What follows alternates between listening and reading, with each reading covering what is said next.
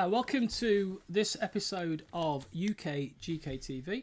Uh, this is my good friend Dave. And this is my good friend Bill. Yeah, we're here to talk today about uh, what we did in the pre internet days uh, in terms of modelling, of course, and uh, how we used to keep in touch and how we used to understand what was available in the hobby. So, for instance, if you were in any hobby at all, like football or cycling, anything like that, bodybuilding, uh, model kits, you bought a thing called a magazine. Now, some of you do not remember the time before the internet. And the internet is everywhere obviously. But in the days before the internet keeping in contact was really really quite difficult. So what you needed to know is what kits were available and where you could get them from. So we had a series of magazines that were available for you to do that with. And they started off with some quite primitive beginnings uh, and we've got some examples here haven't we? Uh, we were just looking at and uh, one of them that caught my eye was this. Uh, it's called the garage. And uh, it's totally black and white. And what I, I, I have to say, uh, even though it's very primitive, I do find myself drawn to it. Yeah, it's if you look at it, it's got the kind of the early sort of the the illustration is very much of the Garage Kit books by Terry Webb and Dave Fisher. Yeah, and I'm thinking if you go back to the old EC comics like Tales from the Crypt, yeah, and uh, creepy worlds and stuff like that. Yeah, that's there's, there's definitely a kind of Southern Gothic American feel to that that sort of. Yeah, it's got it? a style on it. It's I mean, I'm just no, I'm just noting it's got it, it's got a Fisher there, so I'm yeah, maybe yeah. thinking, is it Dave? Dave Fisher Possibly, did it? Maybe possibly, we might we could be wrong. You guys can let us know. Uh, this cover, incidentally, would probably be what we call a paste up, and this is something else you probably don't remember. Pre desktop publishing, all of this was done separately by hand, cut out with a scalpel, stuck onto a piece of paper, photographed with an analog camera, and the photograph was then converted into an offset litho plate, which would then be printed, uh, which uh, was an expensive process to get the plate made. But once you'd made the plate, you could reel off loads and loads and loads. And if you look at this magazine, it's basically four plates because it's two A3 sheets folded. Uh, and that's basically what uh, 16 sides. Yep. Yeah. Or is it eight sides? Two, four, six, five. But anyway, you get it's basically two pieces of A, A, A3, and that's what constituted a hobby magazine. Mm. Obviously, it's not one of the most advanced ones, and, and, and with uh, resin kits and garage kits being an underground thing anyway, these do look like an underground magazine. I think if you were into punk rock in the 1970s, lots of fans of the genre would make magazines like this, non-mainstream, yeah. as like a as like counter to mainstream magazines like NME and Sounds and stuff. And this is the kind of model kit equivalent of a fan magazine or what we I would have called an underground magazine. Uh, so that's that's quite interesting. It's black and white, obviously, because in those days colour printing was way too expensive. So yeah, this is uh, this is quite these are quite vintage now, aren't they? And it, and just to clarify, it's printed on something that we oh, called yeah. paper. Paper, yeah. For your younger viewers, yeah. Bill's going to explain what paper. Paper is. is a an analog methodology of transferring information without using any digital input, right? And uh, the earliest forms of this go back thousands of years, uh, and it probably culminated in the 1970s with the biro and the photocopy paper. There's the biro. So there's the biro, there's paper, and you'd probably find, if you went back further than this, you'd probably find handwritten versions yes, of this, you which had just been photocopied at work and, and sent by post to people. Uh, obviously, it did get to a point though where you could actually buy these magazines from the newsagents, uh, and like other gentlemen's publications, they would probably be on the top shelf. And I have to say, some of the content in some of the later ones, kind of deservedly so. Uh, but we've got magazines here like this is called Kit Builders and Glue Sniffers. It later just simply became Kit Builders. I think when it became a bit more mainstream, I think having a magazine called Kit Builders and Glue Sniffers kind of put the newsagents off a little bit because yeah. glue sniffing, as as everybody knows or should know, is not a good thing because it refers to the the 1970s and 80s habit of, glue, of, uh, of sniffing adhesives the and, it, and, the fumes off adhesives, which will give you a high. And uh, in the in the trade, so to speak, people that made styrene kits in particular their nickname for them was glue sniffers because yeah. they used a lot of glue. And yeah. they didn't actually sniff the glue, but, but sometimes you got high by accident. So I remember being in my warm bedroom in the winter and being a bit overcome by the fumes of a, a tube of Britfix. So I'm guessing, right? Bill, they've dropped the kit this glue sniffers Yeah. to get this more onto the shelf. Yeah, and you can see it's become more mainstream. I mean, I'm still this is still worth a kind of if you ever get a copy of this, it's worth a flick through because you can see some of this was done on a typewriter. Yeah. Uh, and once again, it's got the paste up, and once again, it's thoroughly black and white. But any issue at all, you can basically flick through, and you can see, you can see a kit that you you either craved or fancied at the time. Yeah. I mean, there's the, there's a lot of stuff in here. There's still a lot of Star Trek stuff in here as well, Wow. and some and some Aurora repops. There's like a Godzilla dragster down there, which caught my eye. Oh, there you go. There's a Klingon bird of prey. Yeah. Yeah. Uh, and none of these were really kind of, some of these were, were, were sort of mainstream from places, people like AMT and Ertl. Yeah. But most of these were actually still garage, The they? garage kits. Proper garage kits. That was yeah. the like that was the that was the magazine at the time. Uh, now this magazine is no longer in publication. Mm. Um, it went out of publication a few years ago. Uh, but a friend of mine has actually bought the the company, bought the rights, bought everything to do this. So I'm kind of hoping that this comes back. Uh, currently, like we say, this isn't available, guys. So don't go looking No for it because it's not available. You will find back issues. Uh, not sure how much you'll pay, but you will find back issues. But it was it was your Bible in the day. Yeah. Um, over in the United States.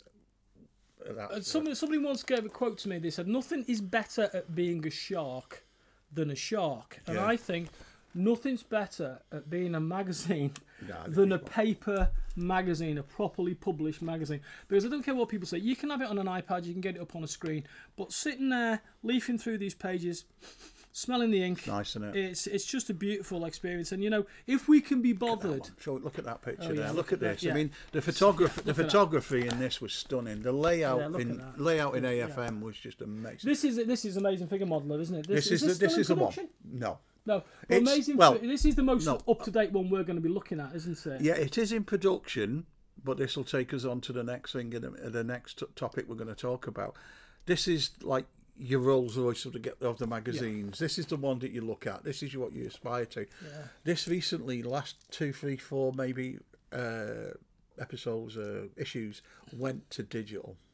Right. So it's it's online. Yeah, so It's basically, like the it's-. Yes, it's, It's not what it was. no, it the Vino. Yeah, we all had that when we were Yeah, kids, yeah, didn't we? Uh, it's now it's no longer available in this format, so you have to buy it digitally. I'm not sure about that. I'm mean, not sure. I think what I liked about this at the time was uh, most newspapers and a lot of magazines in print were still in black and white.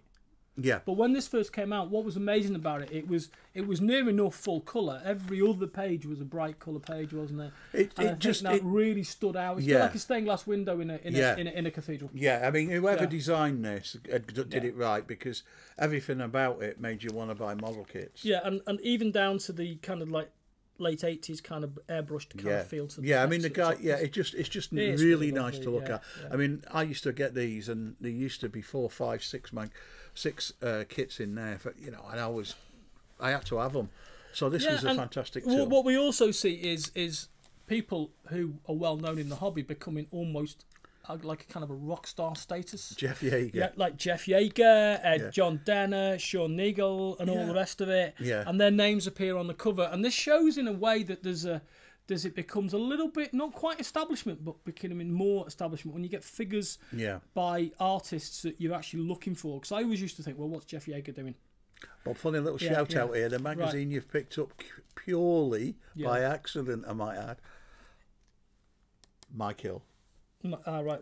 Mike Hill sculpture. Best of. British? Ah, best of British. One of the best. Yeah, Mike. and that, of course, that's if anybody doesn't recognise it, you've Curse never the seen the movie. It's Curse of the Werewolf, Oliver Reed. Which is which is kind of weird, really, because you've got Jeff Yagher and then you've got Mike Hill. Right, Which is, yeah. isn't a bad It's- thing. No, no, it's a good thing, but you know, uh, I, I, it's good. That, and the reason I, I particularly like this this image as well is because for a Hammer movie, that the, the makeup on Hammer was was always minimised to save cost, but. Oliver Reed kind of looked like a werewolf anyway, but Hmm. the fact is, it's very light makeup for Oliver Reed, and it goes kind of back to Werewolf of London from the 1930s. Yeah, yeah, doesn't it? And you can actually see there, so that's not only is that a good werewolf, it's a good likeness of To Oliver Oliver, Reed. Reed. That's probably Yeah. one of the best Oliver Reeds. It's, it's very good, isn't it? the, uh, I've got to be honest, Mike. Mike was a massive fan, yeah, yeah. and I, and I was quite good, quite close to Mike, and he's one of the best. I'm telling you, but he was fanatical about this. So, that had to be right. If it wasn't right, Mike wasn't letting that Yeah. go out, and I think he absolutely nailed it.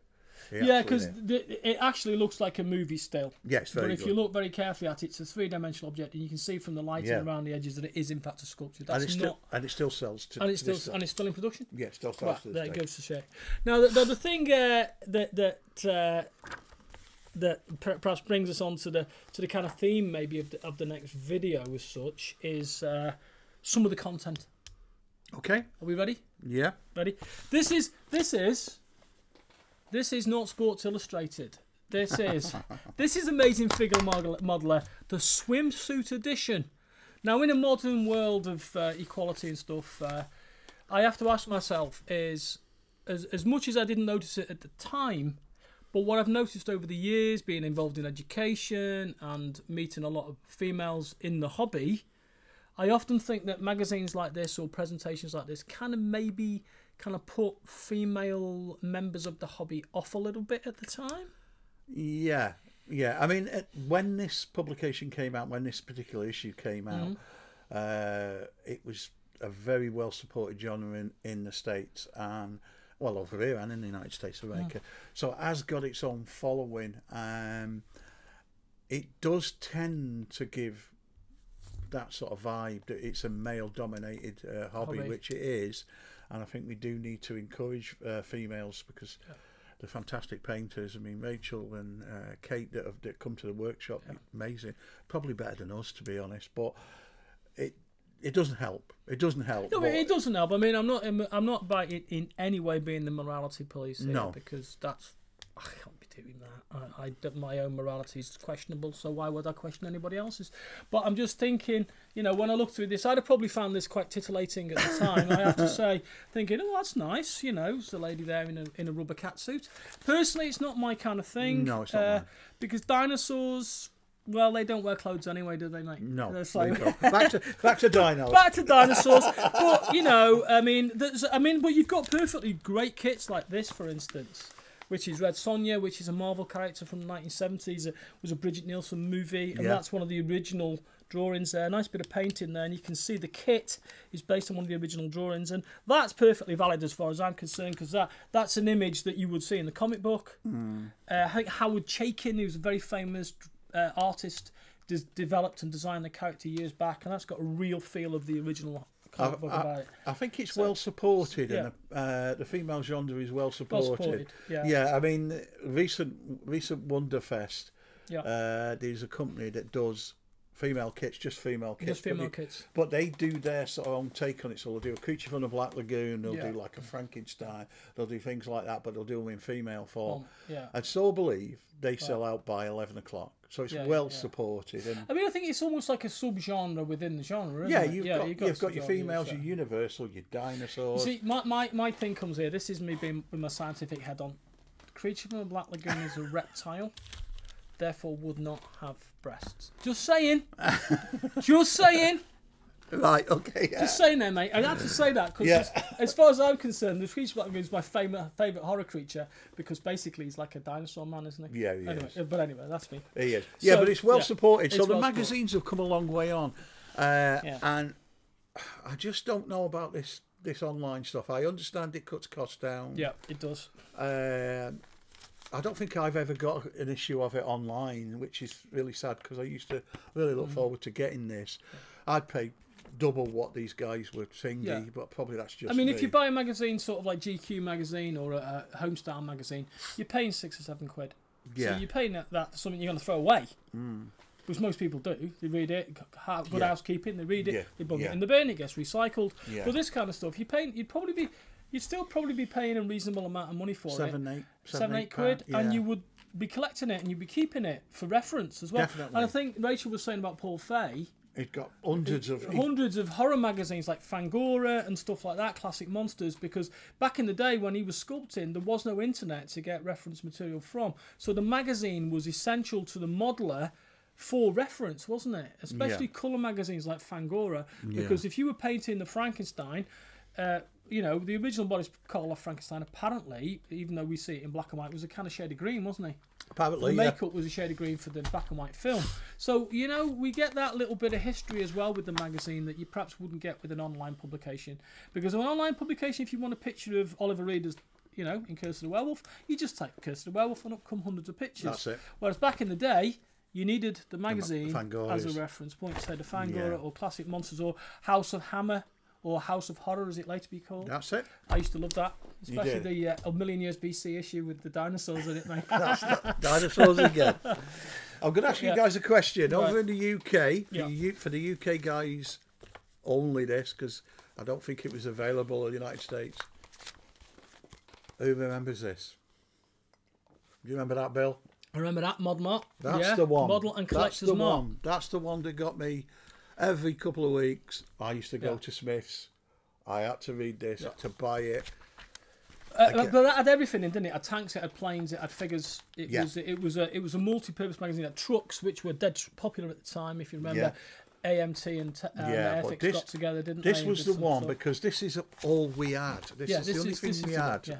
We didn't have all these fancy magazines in the UK. We had this. This this was what I call a Commonwealth magazine. Yeah. This was Austra- uh, Australia, New Zealand, Canada, and the UK. yeah. So you'd often see, for instance, it's got an actual Canadian dollar sign on the cover as well as the one pound ninety, which it was. Which you think One pound ninety, one pound ninety. and that was 1996. You, Six, you did the maths, guys. You did the maths. It's too early in the day. But to be fair, everything you could get was in those pages. yeah, it was all in here. And you know, you could get on a train and go and visit one of these places, or you could order it. As I was saying to Dave, uh, I was I, I, the only time I ordered anything from America was uh, two companies: Chiller Theatre in New York, which was the, the first one I ever bought uh, from a foreign land, and the original Dark Horse, which was in Milwaukee. I actually sent away for those stuff back in the nineties, and it took them about two months to arrive. And when they did arrive, I had to pay extra on them to get them out of the post office because they hadn't paid the duty on it. It was a real pain in the neck. Whereas that magazine, most of the stuff in there was UK availability, so you got it pretty much within within a week. There you go. Classic advert. One of the founder members Mm. Of the UK garage kit scene, Fifth Sense, Stevie Chan from Northern Ireland. All Michael and Alan Ianson classics. Still, I mean, co- That's a Highlander there.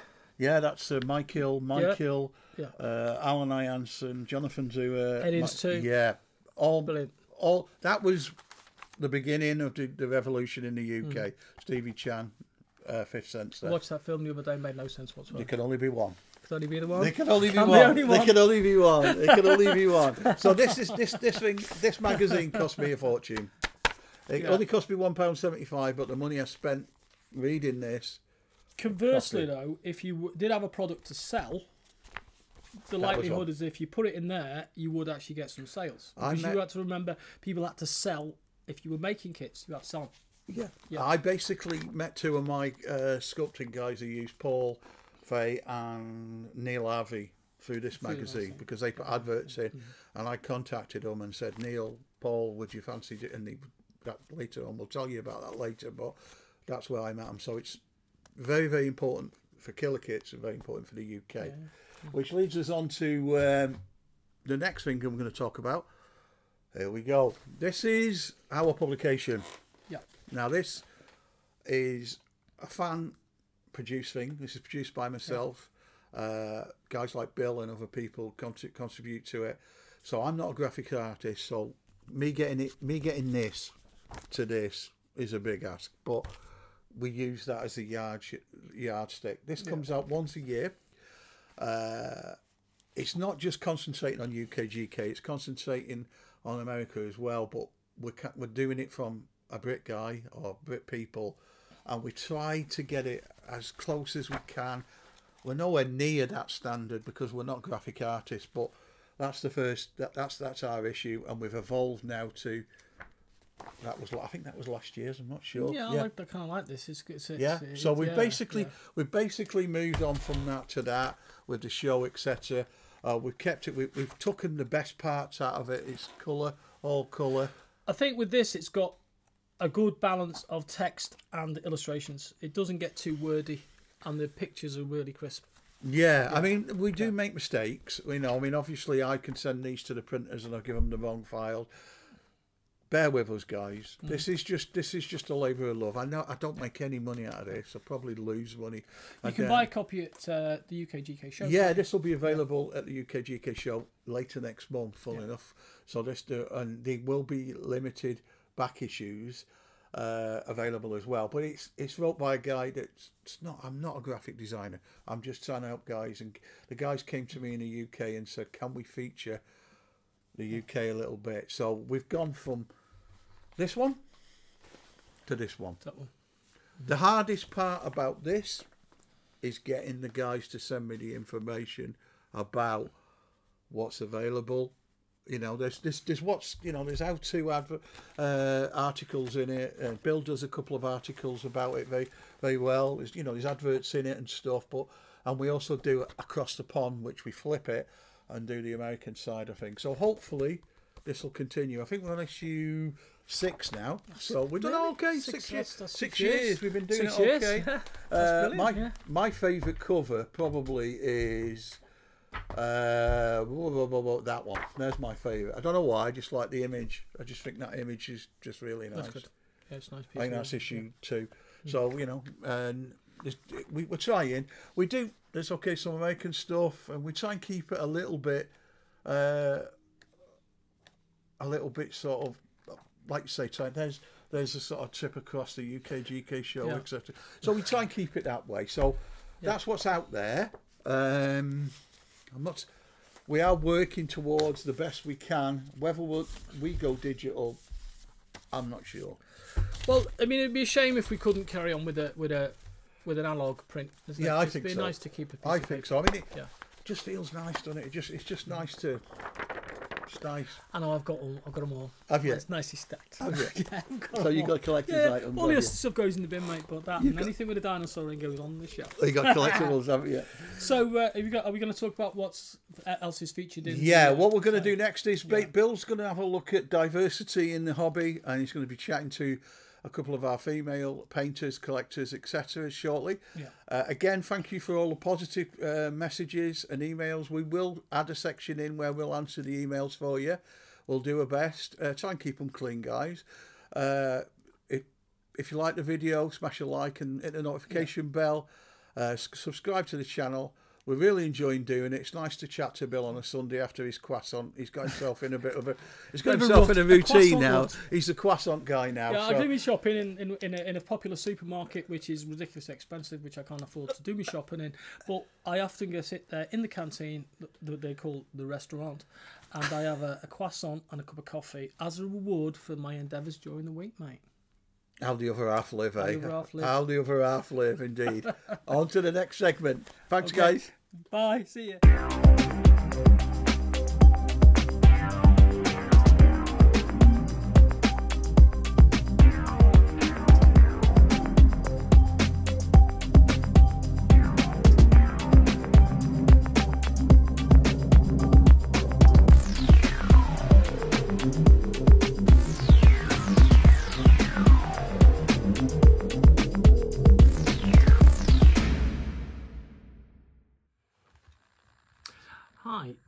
With a quick review uh, of this beautiful sculpture here. It's called Venus and it's by a sculptor called Joe Bailey. Joe Bailey has been in the hobby for absolutely years. He's kind of one of the godfathers of the hobby.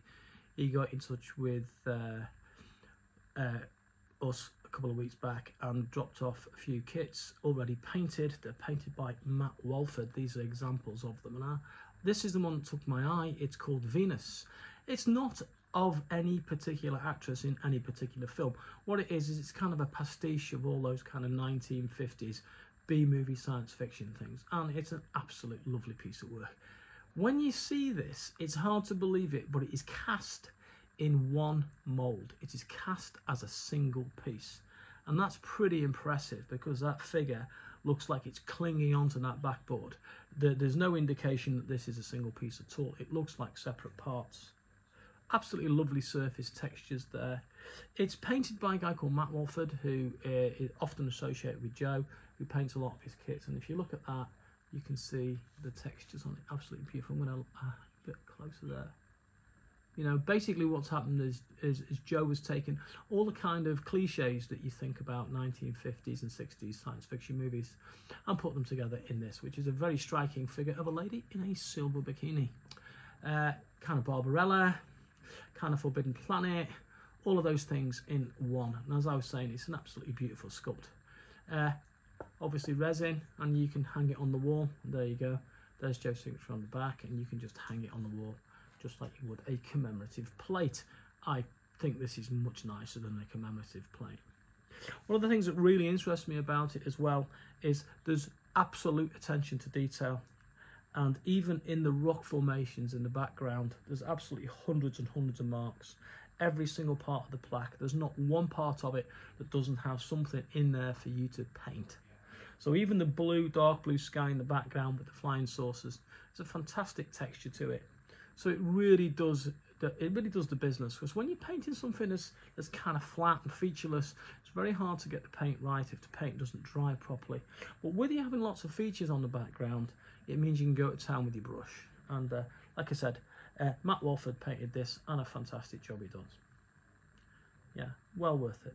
Absolutely. Just let me, uh, if I can tilt that round there, you can see the way the, the leg of the figure is coming out and if you look very carefully at the bottom, you can see that little cute robot there. It's kind of a uh, cross between uh, R2D2 and the thing out the Forbidden Planet, Robby the robot there. So what I'm going to say about this is absolutely delightful. So if you're looking for something a little bit more generic and as something that doesn't attach to because obviously when you're making a kit or you're painting a figure from a movie, you're kind of restricted to what you're doing. The beauty of this is that you can go to town on this. Personally, red painting, for me. I don't know, maybe that's a thing going on there. Maybe it's a Freudian thing. I, for me, that would be red painted. But uh, no, all seriousness, she could be a brunette, she could be a blonde. It's up to you. So I will recommend this. I think it's a beautiful piece of sculpture. Fantastic proportions of the figure itself. Very, very indicative of the 1950s. Give it a go if you're looking for something different.